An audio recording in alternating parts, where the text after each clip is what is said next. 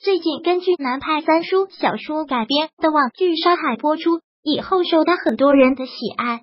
这部剧演员的选角也是很好，秦昊扮演的吴邪被粉丝称为是邪帝本人，而吴磊也是演活了李楚，把这个角色人物前期到后期的心理变化和眼神都把握的很出色，让人很喜欢。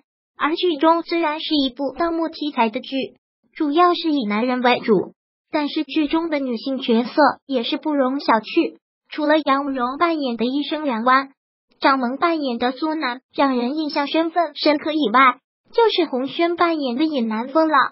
他是星月饭店的现任老板，实力和资金雄厚，长得也是很美，让大金牙念念不忘。在剧中，因为顾及上一辈的关系，尹南风没有把张玉山赶出去。张日山也是借助这一点，将九门协会的场地列在星月饭店。叶南风并不待见这个百岁男神，可也无可奈何。而剧中第一次出场，十分的适合张日山在浴室见面，扎着辫子，显得很干练、很有能力的一个女人。而在中期，就是王胖子等人和叶南风沟通要用设备，叶南风前往大金牙那里，头发是紧贴在头皮上的。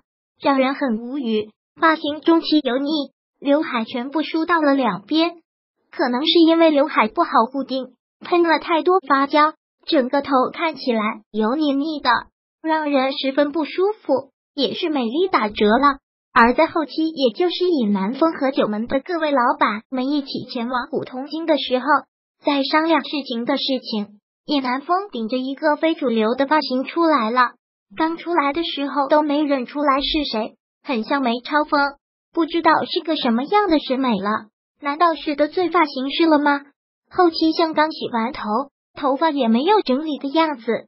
在演电视剧的时候，别人是换小如换人，他是换发型如换人，真的是挑战眼力。谢谢你颜值那么高，长的那么好看，还耐心看完文章。来源网络删。